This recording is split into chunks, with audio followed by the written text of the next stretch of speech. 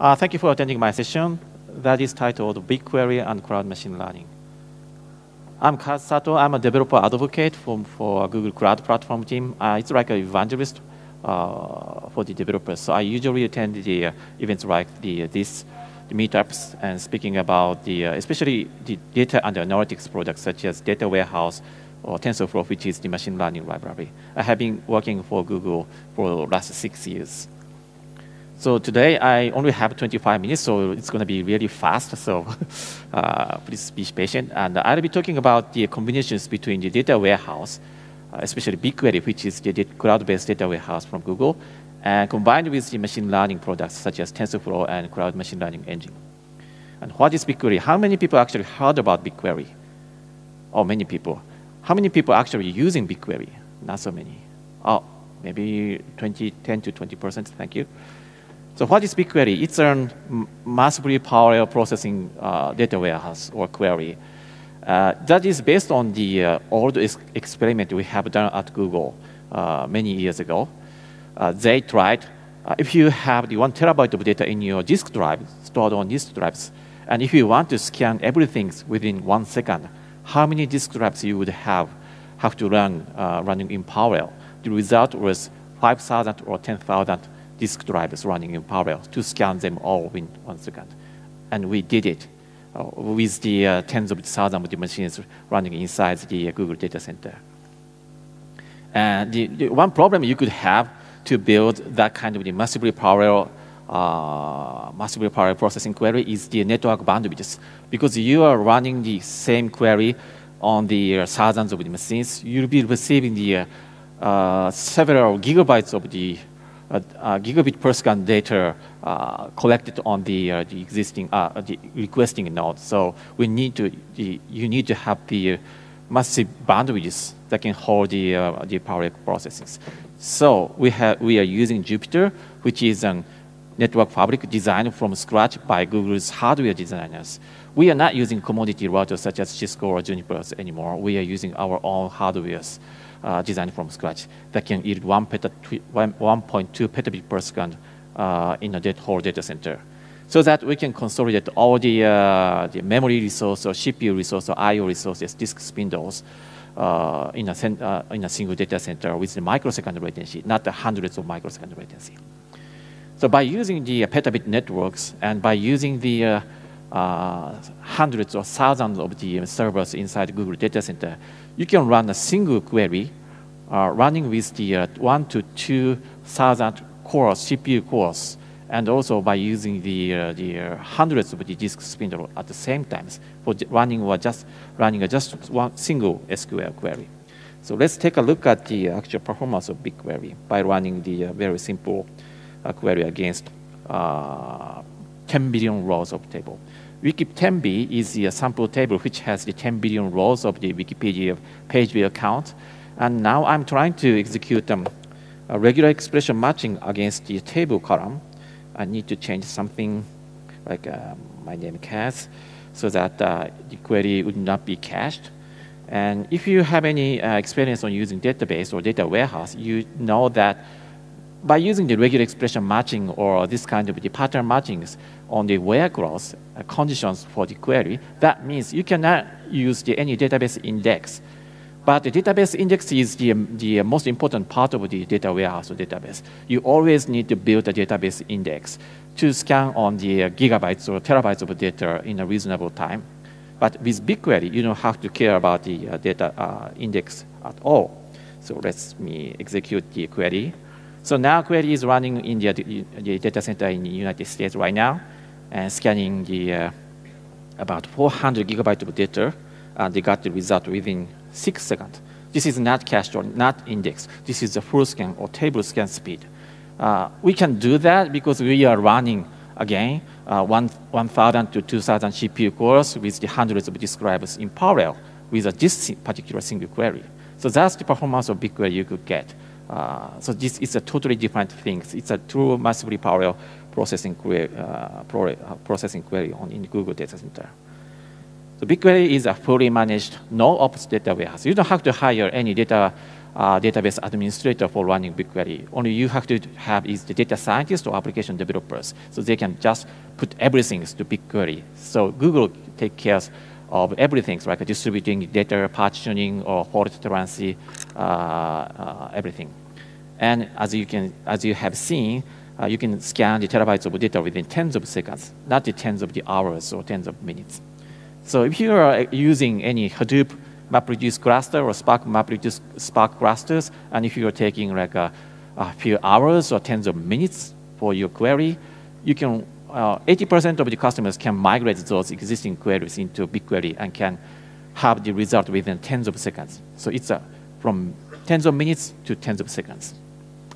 And you can also get the economy of cloud. If you compare the cost of the uh, BigQuery with the other the data warehouse provided, provided by competitors, it's about one third of the, the competitors' cost. It's so, it's so inexpensive.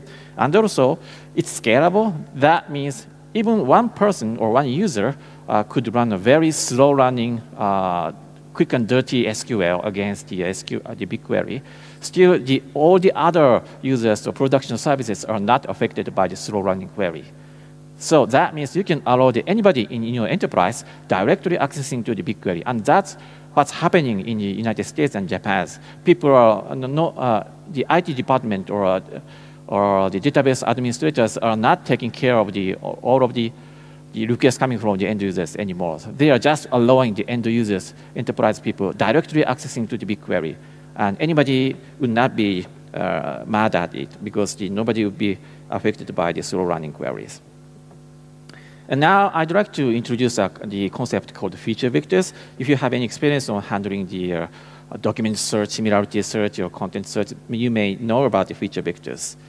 So let's take a look at, look at the uh, actual demonstration. This is a demonstration called Query Smart, uh, where you can choose any kind of the uh, content, and you can run the similarity search against these contents.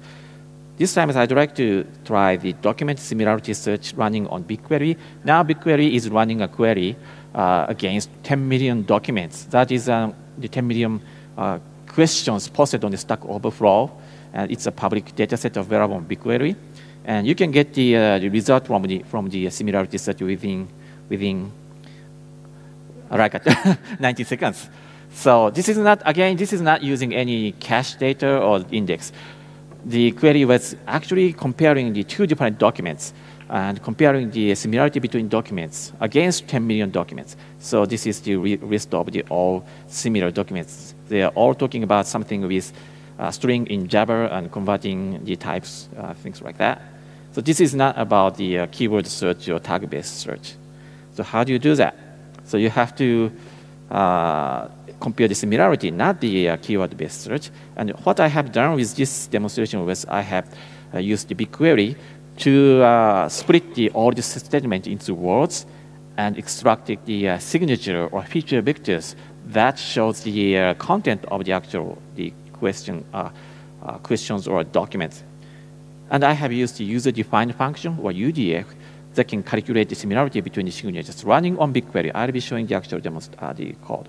What is feature vectors? Feature vector is a vector, so that means it's a bunch of numbers uh, in a single vectors. That represent, represents the content or signature of the, any uh, uh, content or documents or images or anything.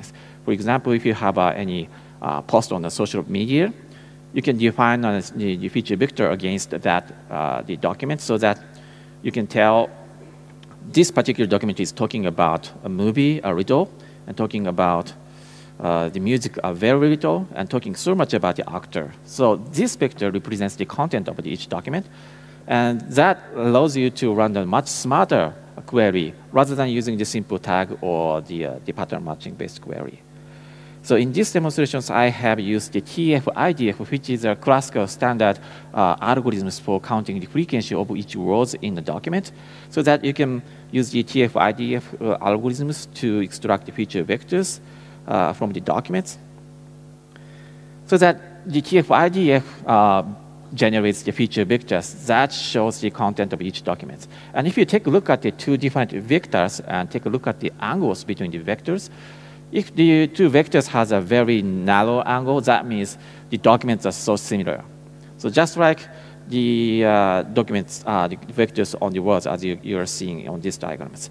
For example, the word music has a feature vector which is so close to the word songs or dances, artists, and you can do the same things uh, with the documents as well. And to do that, it's very important to use the UDF, user-defined functions. That is the key technologies I wanted to present in these sessions. User-defined functions is the uh, JavaScript-based JavaScript-based uh, functions where you can write any kind of the JavaScript logic inside SQL. So in this case, uh, I have defined a function called calc similarity that takes two TF, IDF feature vectors and calculate the cosine similarity between the vectors. Usually, if you want to do this kind of the uh, sophisticated or complex data processing, you may want to use the, uh, the Hadoop MapReduce, or you have to hire many expensive people to build your Spark cluster, uh, writing uh, the Java or the Scala-based complex uh, query on that, and waiting for tens of minutes or a few hours to finish the batch processing. But you don't have to do that anymore. You can just have a big query and write JavaScript logics by yourself and implement your uh, TF, IDF algorithms by yourself. And uh, I'm skipping the demonstration. And now I'd like to combine the, this uh, UDF on BigQuery with the TensorFlow, which provides the machine learning ability uh, for implementing the much smarter queries. What do you mean by smart? For example, if you want to, uh, if you are, uh, have your e-commerce website for fashion items, and if you want to capture some uh, the senses or instinct by the users, such as the, uh, the taste of on the fashion items like a skirt and t-shirts, things like that, things like that, it's really hard to express those instinct or human senses by using SQL, standard SQL. So that's where you may want to use machine learning, because by using machine learning, especially neural networks, you can extract the, uh, some features or patterns from the data sets. So if you want to see it in action, I can run the uh, live demonstration how neural networks, especially deep neural networks, can extract the patterns from the training data set. In this case, I've used very simple double spiral patterns. And for humans, it's really easy to tell the difference between the orange spiral and blue spiral. But what kind of SQL you would run to classify these spirals? It's really hard, right? Maybe uh, if you're good at math, you can define uh, some uh, equations for the uh, spirals, but I don't want to do that. So instead, I would use machine learning so that machine learning neural, neural network can extract the double spiral patterns as you have just saw with this demonstration. So this is where you may want to start using TensorFlow. TensorFlow is the open source library for machine learning, and any new AI or machine learning based Google services are all written in TensorFlow inside Google. And we have open sourced the internal TensorFlow tool to the other open source tool uh, in November 2015. And you can go to the tensorflow.org and download the latest TensorFlow, which is uh, version 1.1 right now. And one benefit you could get with the TensorFlow is the, uh, the uh, cloud platform, uh, support from the cloud platform. As I mentioned, we can provide the uh, uh, cloud platform with the uh, tens of the thousands of the servers with the CPU, GPU, as well as the TPU cores. TPU is, a stands for the Tensor Processing Unit. This is an, an ASIC or custom designed LSI designed, only, designed by Google and that provides the 11.5 petaflops per uh, pod. Pod is uh, one cluster for the, the. That is almost equivalent to the, uh, the largest supercomputer in the world. So you can say that Google has been building our own supercomputer from scratch, from chip level, to just for running the TensorFlow uh, training and prediction. And we are externalizing this power of the Google Cloud Platform and uh, large-scale distributed training and predictions as a commercial service called Cloud Machine Learning Engine, or ML Engine. That is a fully managed TensorFlow platform running on Google Cloud. So whereas TensorFlow is uh, open source, if you really want to get the full benefit from the Google Cloud environment, like a network or TP or anything, you may want to choose ML Engine. That runs your TensorFlow graph running on Google uh, cloud with the tens of CPUs or GPUs, or and maybe in near future we, we, we will be supporting TPUs as well. And also you can get the uh, HyperTune, uh, which is the hyperparameter tuning automation tool based on the Gaussian process. So let's take a look at how you can combine the BigQuery data warehouse with machine learning engine or TensorFlow. One use case is to use the uh, BigQuery for pre-processing and ETL. But as, because if you're a data scientist, you may know that maybe the major part, like uh, some people say that it's over 50% of the data scientists is uh, all about pre-processing and data cleansing and getting the high quality data set for training the machine learning model. And as long as you're using the, uh, the existing traditional technologies such as Apache Hadoop or uh, the Spark or those kind, the things you have to wait for tens of minutes or a uh, few hours. It's, you cannot get the faster iterations uh, on the ad hoc data analytics. So instead, you can use the BigQuery, uh, which can access to the hundreds of the nodes uh, in a few seconds to get things done. So for example, in this case, I'd like to um, train a very simple model, neural network model on TensorFlow by using the training dataset uh, pre-processed by the BigQuery. That is called classifying Manhattan. So I'll be using a very simple training data which has the latitude and longitude, pairs of the latitude and longitude, and train the neural network model whether each geolocation is inside Manhattan or not. So let's take a look at, look at the training dataset. I'm using the public dataset called NYPD collisions on BigQuery. That is a um, public dataset available to anyone on BigQuery, uh, where the table has the uh, all the uh, records for the car accidents happened happened in New York City, and it has timestamp and borough, latitude and longitude. And we'll be using this data as a training dataset for training neural network. But if you take a look at this raw data, there are some useless data that which doesn't have any borough data. So we, I wanted to ex exclude those useless data by adding some more uh, conditions. And also I wanted to add a flag whether uh, the location is in Manhattan or not. And I also wanted to shuffle the data and wanted to extract the first 10,000 rows. So let's define the SQL. And uh, by the way, I'm using, I have been using the tool called Cloud Datalab which is the IPython notebook or Jupyter notebook integrated with Google Cloud. So this is a Jupyter notebook, pure Jupyter notebooks, but you can run the BigQuery SQL directly inside the web browser. And as you can see here, you can execute, execute the BigQuery query inside Python code. And I'm executing it right, right now. And take the result, convert it into the NumPy array. NumPy is the uh, standard uh, numerical operation library. So everybody using the NumPy. And you can easily combine the result from BigQuery data warehouse, pre-processed by the BigQuery, converted into the Python runtime, as you can see right now. So there are so many uh, 10,000 pairs of the latitude and longitude with the uh, Manhattan flags. So this is the training dataset. So let's take a look at how it looks like by using Matplotlib. So this is the training dataset. You can see the shape of the Manhattan. Uh, with even you can see the shape of the Central Park here. So let's split the data into the training data and test data. And this is where you are using TensorFlow. TensorFlow uh, uh, has been, uh, we have uh, released the first TensorFlow version 1.0 at 2015, and at that time we launched a new, uh, launched the first low-level API for TensorFlow. But now we have the TensorFlow 1.0, and 1.1 is the latest, which provides the higher level API. So you don't have to write the tens of of Python code anymore to define your neural networks. Uh, rather than that, you can just write a few lines of code like this. This is the lines Python code where you are defining a DNN classifier or deep neural network classifier uh, that is specifying the hidden units, uh, four hidden units with 20 neurons on each unit uh, hidden layer. So it's so easy. Uh, it's just like using scikit-learns uh, on TensorFlow. So you don't have to write tens of lines of Python code anymore. So now I'm creating the DNN classifier object here. It's taking time. So let's take a look at how the neural network works. Before training the neural networks, how let's take a look at how stupid it is uh, before training the, the network.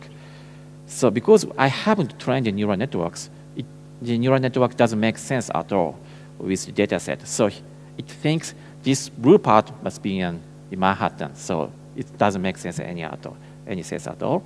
So we have to train the neural networks. Let's train the neural networks by calling the many fit method again and again, okay, executing it.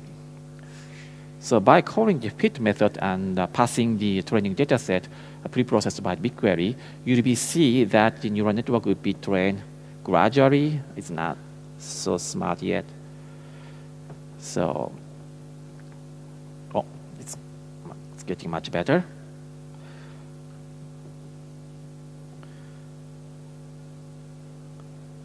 Still, it thinks uh, uh, some part of the Bronx is uh, Manhattan.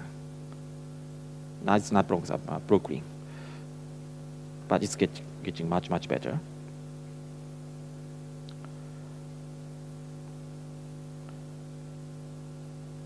So this is the final result. Machine learning cannot provide you 100% accuracy, but still it works. The accuracy uh, is 99.6%. Uh, so you just saw that it's so easy to do the pre-process, pre-processing ET with BigQuery and convert all the data uh, converted to the uh, Python runtime and run the TensorFlow on the Datalab uh, tool. And now let's take a look at how you can combine the TensorFlow and BigQuery in the other way, different way, uh, using the TensorFlow for extracting feature vectors that could be used on the BigQuery UDF. Uh, let me show the demonstration. Again, the Query Smart demonstration has another demonstrations for the image similarity search. So this is where uh, this is the demonstration where you are executing a sim image similarity search on data warehouse. So for example, if you choose one key image, it's like this all image, now the BigQuery is executing a similarity search against 1 million images on Google Cloud Storage and Google uh, BigQuery. And this is not a query based on keyword or index or tags or metadata. This is actually comparing two different images for its uh, color and shape and uh, textures and patterns on in, in images. Oh, the network is so slow. So you can see the result, and this is not a keyword search based like a, this is not a result looking for the keyword all. Rather than that, it is actually comparing the, all the similarity of the, the images. So many of the images has the uh, green background, has the uh, similar uh, patterns or textures of the all. So this is the uh, similarity search you can do with the uh, data warehouse. So what I have done with demonstration is that I have stored all the 1 million images on Google Cloud Storage and apply the uh, CNN or convolutional neural networks running on machine learning engines with TensorFlow so that you, are able, you can extract all the feature vectors of the each 1 million images and uh, co uh, copy the feature vectors on BigQuery where you are running the BigQuery UDF to compare the two different feature vectors to do the similarity search. And we have used the CNN, especially the VGG16s, and the usually if you are using CNN, you, you, are taking the labels out of the CNN, like the labels such as the cat or dog or human face or vehicle. But rather than that, you can use the CNN for extracting feature vectors. In this case, we have uh, extracted feature vector with a 1,000 elements in it, the 1,000 uh, dimensional element. And that could be used uh, at BigQuery. You can write a TensorFlow code to extract the feature vectors from it so that those feature vectors, the 1000 dimensional uh, the vector, could be used for comparing the similarity between images. And again, you can use the user-defined functions. In this case, I have defined the uh, UDF called distance to uh, the calculated distance between two vectors and uh, run, uh, run SQL by using the uh, distance functions. So that was the, the, uh, the, techniques I wanted to show. So BigQuery provides the fully managed petabyte scale data warehouse. And the most important feature of the BigQuery is that you can also run your procedures, programming language written in JavaScript, running on the hundreds of the uh, nodes on BigQuery in uh, tens of seconds. I think, I suppose this is the fastest platform where you can run any arbitrary logics against the hundreds of the, uh, the nodes in a, few, in a very short time period. And also you can combine BigQuery with machine learning engine and TensorFlow to extract the feature vectors that can you know, capture the, all the human senses or instinct from the data set. And again, I want to stress that this technology could be available, available for any employee in your enterprise. So once you have extracted feature vectors and you find the user-defined functions, that is an, an task for the data scientists and engineers, then you can allow the, anybody, like a salespeople or marketing people, marketing people in your enterprise, to executing BigQuery UDF query uh, on any kind of the data set they want. So you can share the, the power of the, uh, this query, smart query with the, everyone in ent enterprise. And the documents and images are only a few examples that could be applied to the, these techniques. So this technique could be applied to any kind of the content where you can define any feature vectors. For example, if you have many products on your e-commerce website, or if you have any uh, many users on your, on, your, on your website, you can define feature vectors that represents the uh, features or characteristic of each product and users, and uh, build the recommendation systems or the uh, spam filters or anything, or defining the, any faulty IoT devices by looking at the, uh, the feature vectors. That's it. Thank you so much.